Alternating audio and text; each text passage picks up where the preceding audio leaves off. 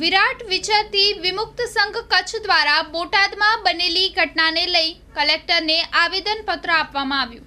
મારું નામ, સૌપ્રથમ મારું નામ બતાવી દઉં કે મારું નામ રમેશભાઈ મગનભાઈ કુંવરિયા છે.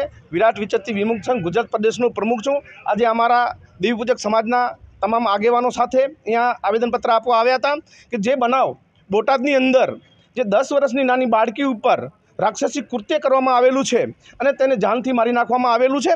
તો આને ન્યાય મળે આવા કિસ્સાઓ અમારી સમાજ ઉપર, નાની નાની બાળકીઓ પર અવારનવાર થતા હોય છે, જેને પૂરતો ન્યાય નથી મળતો અને આને ન્યાય મળે અને સરકારશ્રી આ બાબતને દેવી પૂજક સમાજ ઉપર પૂરતું ધ્યાન આપી અને અમારી આ સમાજ ઉપર ન્યાય મળે અને આવી આવા કૃત્ય અમારી સમાજમાં ન બને અવારનવારના. એના માટે થઈને અમે અવારનવાર સરકારશ્રીનું ધ્યાન દોરતા હોય છે દાખલા તરીકે તમને એક દાખલો આપું કે સુરેન્દ્રનગરની દીકરી દિલ્હીમાં હતી ત્યારે દિલ્હીમાં પણ એક આવો બનાવ બનેલો એને આજ દિવસ સુધી ન્યાય નથી મળ્યો કેસરબેનને.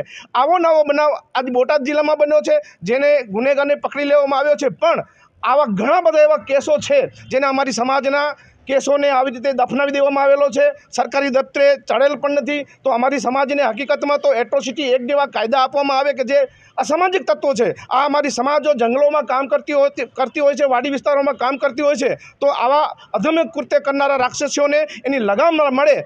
તે માટે થઈને અમે એટ્રોસિટી એક્ટના કાયદા પણ માગીએ છીએ. અને આ જે બનાવ બન્યો છે ભારતીબેનનો બોટાદનો તો જેવો સુરતમાં બનાવ બનેલો હતો એવો ને એવો બનાવ એના કરતાં પણ ગંભીર ગુનો બળાત્કાર કરીને નાની દીકરીને મારી નાખવામાં આવેલી છે. તો આને અચૂકપણે આખા ગુજરાતમાંથી એક અવાજ ઉઠી રહ્યો છે અમારી સમાજનો કે આ ગુનેગારને ફાંસીની સજાને ફાંસીની સજા જ મળે કોઈ આનાથી ઓછી સજા ના હોઈ શકે એના માટે થઈને. ભારતીબેનને ન્યાય આપો. ભારતીબેનને રમેશભાઈ મગનભાઈ કુંવરિયા છે વિરાટ વિચરતી વિમુક્ત સંઘ ગુજરાત પ્રદેશનો પ્રમુખ છું.